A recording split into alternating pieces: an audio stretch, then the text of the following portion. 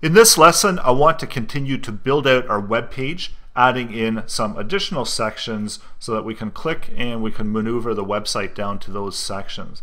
One adjustment I did want to make, which I'm actually going to bring back the lorem image because I do like the images a whole lot better, but because uh, they're at the moment they're unpredictable, we're not sure which one we're getting, uh, let's just use placehold.it until we've got all of our content up and running and then uh, we can make that adjustment and actually bring in uh, the image that we want to utilize. So I'm going to copy this link address, open up my editor and I'm going to comment this for a second here because I do want to bring this back at a later point but for now what I want to do is use placehold.it as my image placeholder so I want to have a nice big image here because we are going to use cover. So I'm going to make an adjustment as well to the image that we're putting out here. So background image now is the placehold.it and let's just refresh that. And we see that now it's a lot more uniform as well. Uh, so let's open up our editor and make some adjustments on the background image. So with HTML5 we have the ability to use background size and we got a size called cover. And what cover does is this actually helps readjust the size of our background image. Uh, so we see that this one right now, it's way too big and when we resize, we don't see the full image. But when I use cover, we see that now we've got that dimensions here. So it's actually resizing and uh, centering the image as well. So it's a much better way to present your images using cover. And of course, we can't see it as of yet, but you see that it's keeping the dimensions, even though the screen is getting wider, uh, we do see some of the background of that image right now. So let's, uh, let's go ahead and create another section.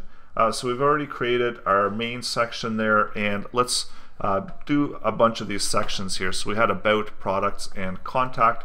So let's create some HTML sections for that. So we want to do it underneath header. So header is our top section and this is where our header content is going to go and the rest of these are going to be called sections.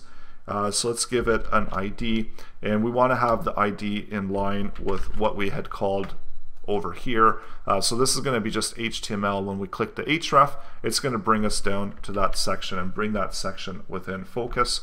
I also want to add in containers. So containers are used within Bootstrap. So the container class is used within Bootstrap to contain the grid. Uh, so we've got container. And it also adds in uh, some gutter area on the sides, so some padding and so on, uh, so that uh, this creates uh, more styling, more bootstrap styling within the element. Uh, so within now, let's uh, set it up so we can have some rows. So class rows, because this will give us the flexibility to add in a bunch of columns in the section or whatever we want to do within that section. Uh, so now we've got our rows, or if we had multiple rows, uh, this is ideal as well. And adding in a div.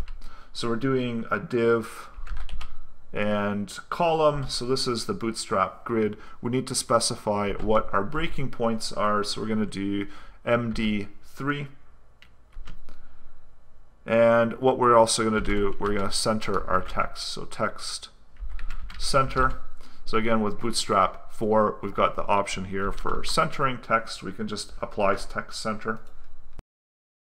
And now I'm going to make three sections, so we'll just call it one, and we're going to have a little bit of text. I'm going to just copy the text that I have over here, and this is going to be in preparation so that we can use this kind of like a mini template here uh, to add in the other three, the other four, the other three column threes because we need to make sure that uh, Bootstrap styled uh, geared towards a 12 column format.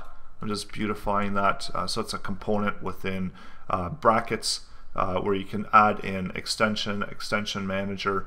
Uh, so this is one just called Beautify. And it's a really handy one because it allows you to realign all that code so it's more readable. So that's all that I just did right there. Uh, so that's got not, nothing to do with Bootstrap. It's just uh, so it's more readable and it's uh, feature within Brackets when you add in the component. So let's go take a look and see what we look like now. So now we've got our four columns there, we've got our header section, and now we're ready to add in uh, maybe some, some other sections. So we had another one that we called products. So something like this might be ideal where we want to highlight some of the products that we have available within our website. So let's just update this and we'll call it products. And uh, relatively the format is going to be very similar.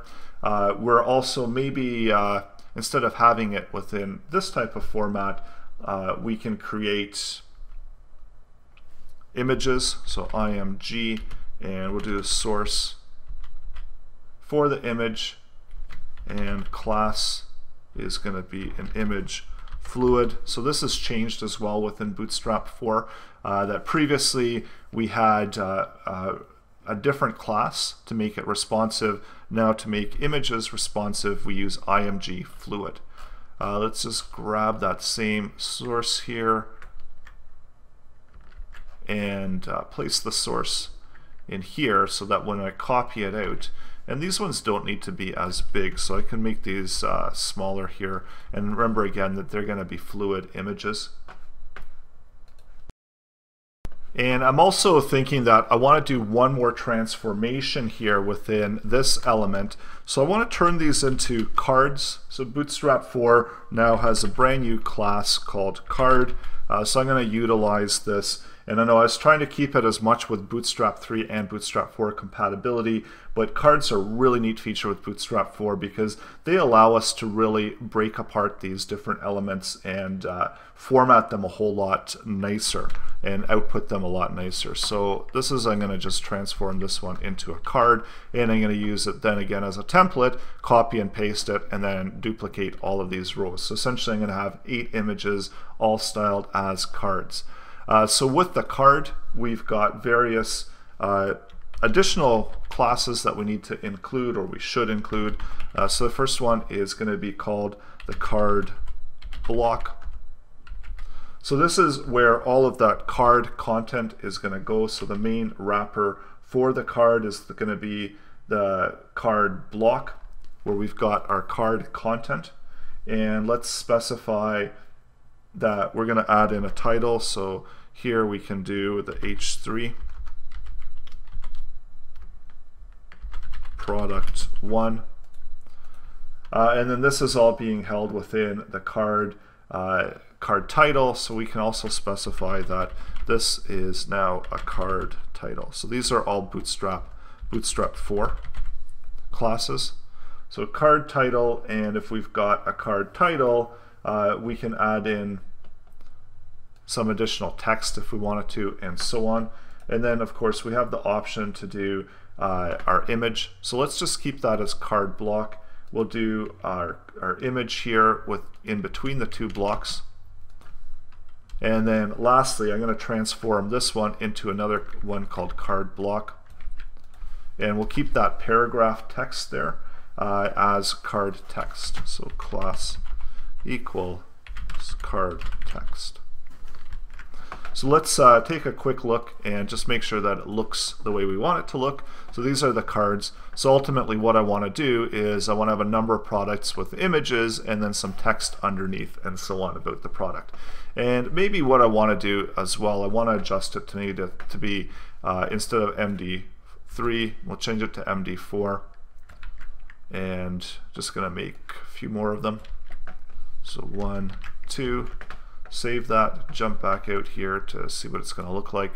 Uh, so we've got all three of our products and maybe we want to have another set of products. So we can go to about, we can go to products and so on. And automatically with HTML we're allowed to, we're able to scroll down to where that section is. Uh, so let's, uh, and of course we're still going to be styling this as well.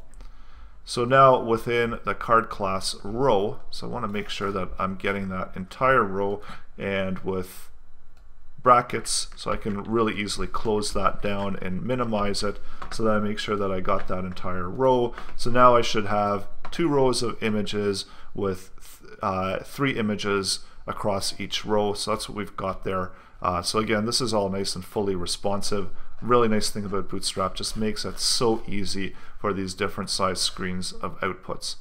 Uh, and of course, then you could even more customize how you want it to look as you create your web page. So in the next section, we're going to add in our contact section and maybe we've got another section that we want to add in that's just uh, maybe some sales information and so on. So we're going to add that in as well within the next lesson.